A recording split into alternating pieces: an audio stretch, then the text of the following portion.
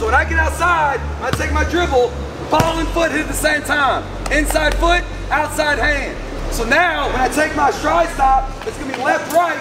That's gonna allow me to push off because I have a defender right here, and I can create that contact so I can finish. I walk it, I just slid, get out of the way. I slid, I'm here, boom, left, right, ball to here, and then get a high.